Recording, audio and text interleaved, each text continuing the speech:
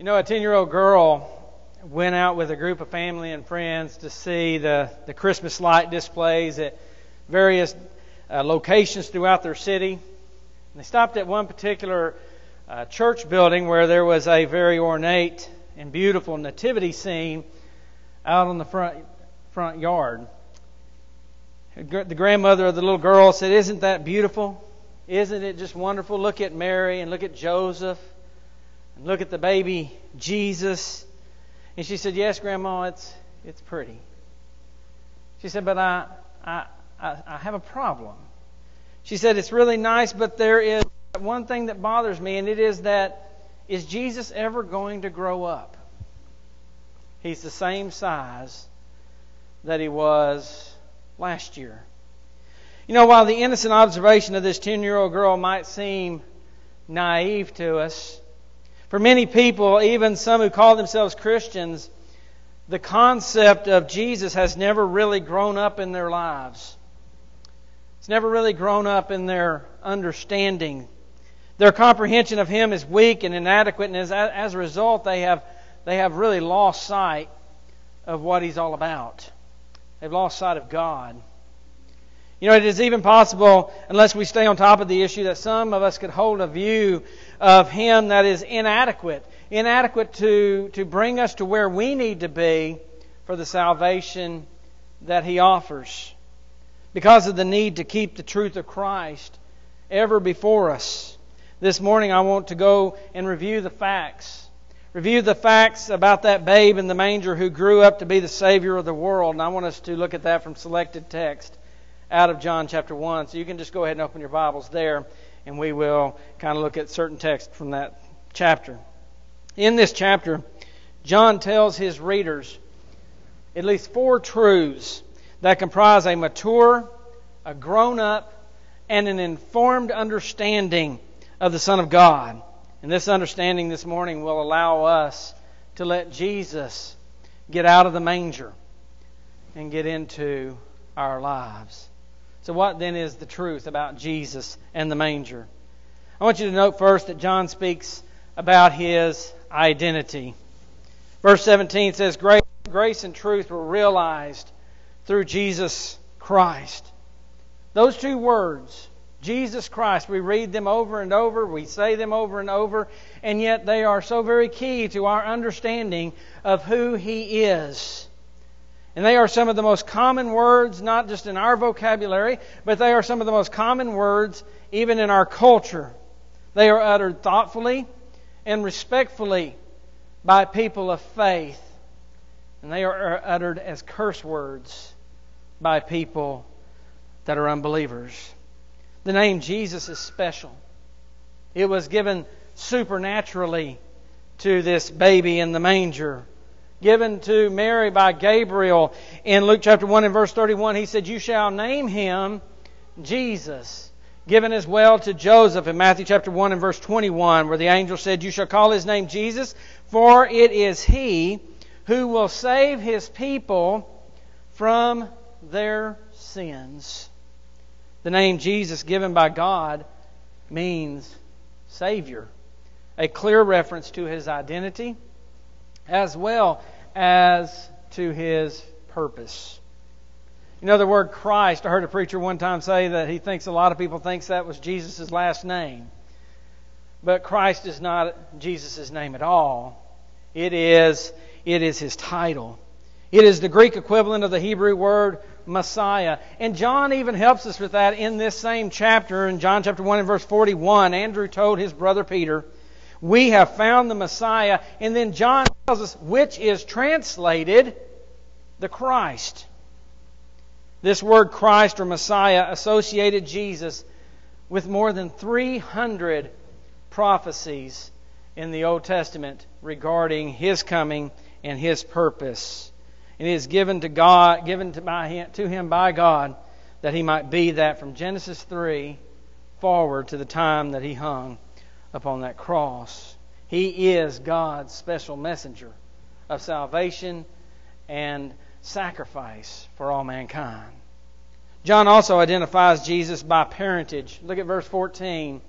He says, And we beheld his glory, glory as of the only begotten from the Father. Through Jesus, though Jesus was conceived and birthed by a human mother, his Father was God. Was Jesus just another human being?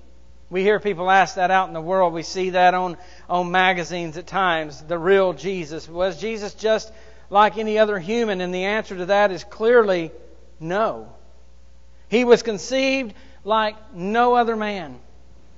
He was and is the Son of God. He is not a Son of God. You and I are uh, the men in this room that have come to Christ. We are sons of God, but we are not sons of God in the same way that Jesus is the Son of God. And we need to understand that. We make, need to make certain that we do not make that mistake. Because verse 14 makes it very clear that He is the only begotten Son. He is the unique Son. That's what that word only begotten means. The word monogenes means that he is unique. There is no one else like Jesus Christ. There is no other person that has ever lived that is like him.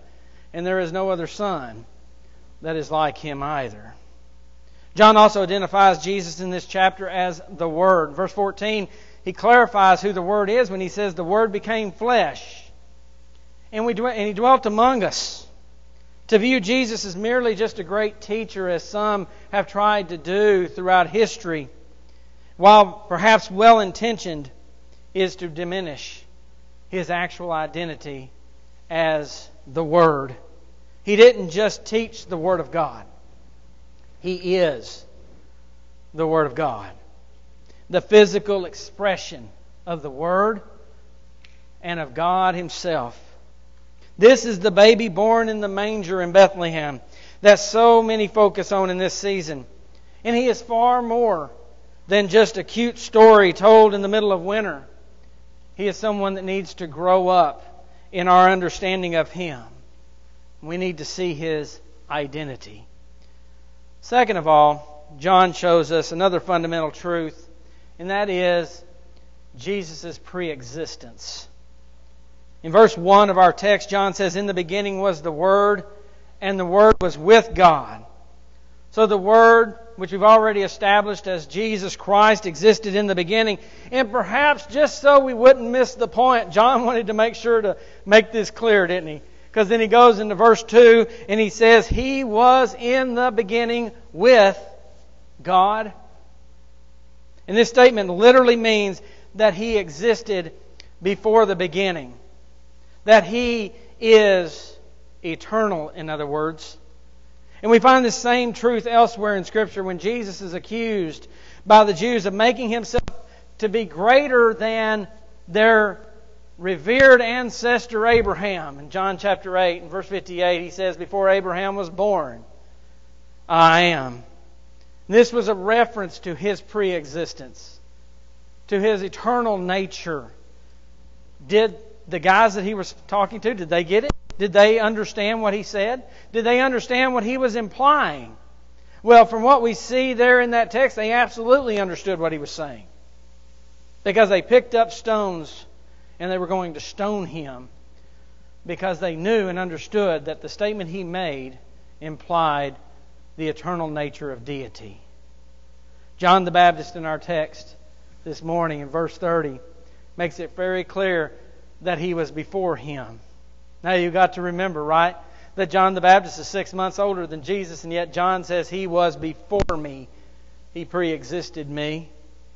This babe in the manger, this one identified as Jesus Christ and the Son of God, existed before he took on flesh.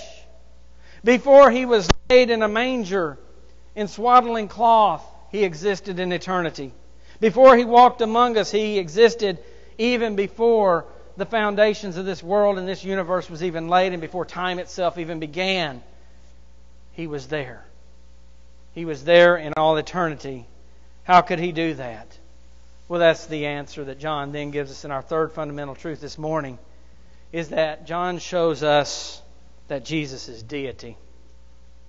Verse 1 says, again, in the beginning was the Word, and the Word was with, was with God, and the Word was God.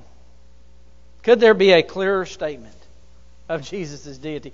I think I could probably just read that and walk away, right? But preachers don't ever do that, do we? You know, I don't think so, and yet, in spite of this clear statement, there are people who try to sidestep the issue of the deity of Jesus Christ. I remember I put on, on, on a I did a test with the teenagers some years back, and I've done it several other times. I've even had adults want to take it. It's kind of an, a biblical aptitude test just to kind of see where you're at. But one of the questions at the end of it was Is Jesus God in every way that the Father is? And you would be surprised how many people put no. And that they have misunderstandings in regard to the deity of our Lord and Savior Jesus Christ. Jesus told the Jews at the Feast of Dedication during this same time of year in John chapter 10 and verse 30, he made the statement, I and the Father are one. And the Jews, once again, seemed like they were always out looking for rocks, right? Once again, they picked up stones to stone him. Why would they do that? Why would they do that? Because Jesus said, I and the Father are one. Well, you don't have to wonder about that question because the Bible answers it for us. In verse 33 of that text in John 10, it provides their explanation for why they wanted to stone him. Listen to what it says For a good work we do not stone you, but for blasphemy. Because you, being a man, make yourself out to be God. See, they got it, didn't they? They understood exactly what Jesus was saying, that he was saying, I am deity. And Jesus didn't come back there and go, No, you're misunderstanding what I'm saying. That's not what I said at all. That's not what he did at all. Because what he said was the reality of the situation.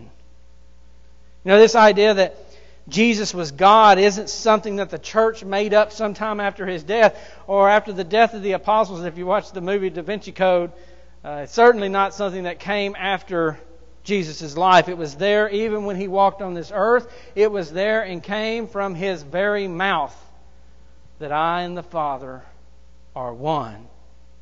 Paul made the same claim of Jesus' deity in Colossians chapter 1. The writer of Hebrews makes the same claim in Hebrews chapter 1, and John makes that claim in this text, and Jesus made the claim in John 10 and John 8. There can be no doubt that Jesus is God.